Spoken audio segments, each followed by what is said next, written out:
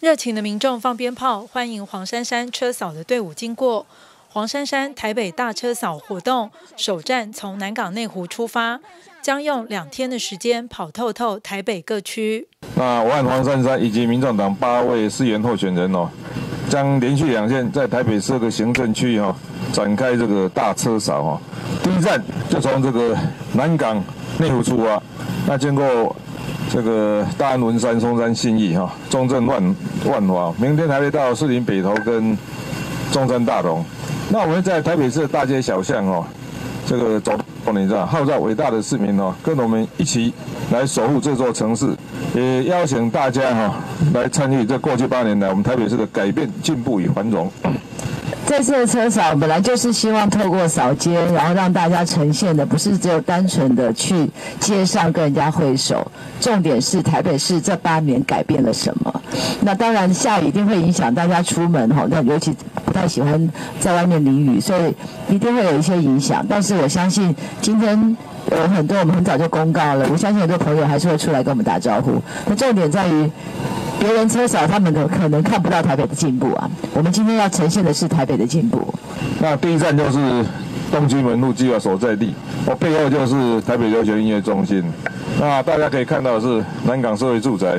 事实上，这个是我认为这个将来会是台北市哈最不是台北市，全台湾的最现代化的一个区域，因为这是信义计划区以后哈真正。有都市计划的哦，就事事先设计好一个都市的区域。那啊，这个地方会是台湾的交通枢纽，因为三铁共构哈，在这个哇这个高铁啦、台铁啦、捷运哦，还有我们哦，已经两个呃转运站的 BOT 案哦，也已经开工了。你好，谢谢大家，谢谢。哦，大家好，谢谢你们，各位好。谢谢大家，谢谢欧董，大家好，我是财财，拜托大家了，谢谢谢谢，谢谢各位，八号加油，拜托拜托，谢谢谢谢大家，谢谢谢谢谢谢。哇，我看到路边有一个年轻的，应该是夫妻或是情侣，举着自己手写的。就是白板，然后上面黑字是写“黄珊珊加油”，这看起来这非常非常感动。虽然不是一个做的很精美的牌子，就是自己用这个用那个麦克笔哦，在白板上写上去，可是看起来特别特别的有温度。很多人呐，撑着雨伞啊，直接走在路边，然后等着这个车队的经过哦，而且都非常的哇！又看到一位妈妈就背着小 baby。好，来跟这个珊珊加油打气。车扫第一天虽然下起大雨，但沿途都有热情的民众挥手，或是摇着小旗子支持力挺黄珊珊。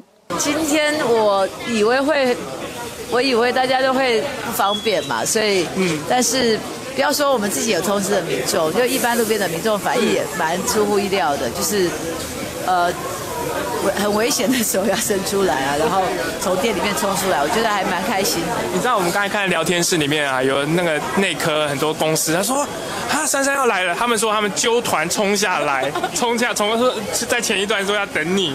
那我在路上在看到很多真的不是动员，然后他们自动自发的在那边。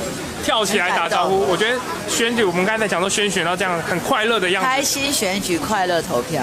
嗯，那因为内湖是我很熟悉的地方，刚市长问我说：“哎，你的支持者跟我的支持者不太一样，他的支持者都是上班族。”我说：“我的支持者从老到小都有。”对，刚才进入国宅也好多的大哥大姐叔叔阿姨，因为这些我在这二十四年，他们平常就看到我，然后有很多服务案他们都会来。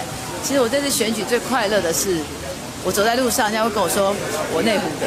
我想说内湖是什么意思？就是我是主票。然后另外会有人说我万华的。我要恳请你们站出来，你知道吗？做自己的主人。你不是蓝的，不，你不是绿的，你是自由的。其实哦，你们要诉诸自己最理性的考量，你知道谁最适合当台北市长？这样想就好了，不要被这个意识形态的哈、党派的利益的哈，还有政党的纠纷的哈，被这些去绑架，更不要去被什么仇恨动员，你知道去影响。黄珊珊感谢一路上和他打招呼、为他加油的民众，也请市民们十一月二十六号都出来投票，让台北的改变继续前进。记者陈淑平台北报道。